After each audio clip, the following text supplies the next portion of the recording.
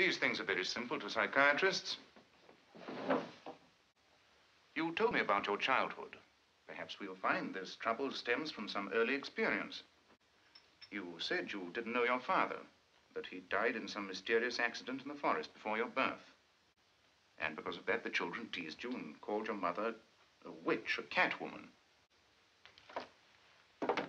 These childhood tragedies are inclined to corrode the soul, leave a canker in the mind. But we'll try to repair the damage.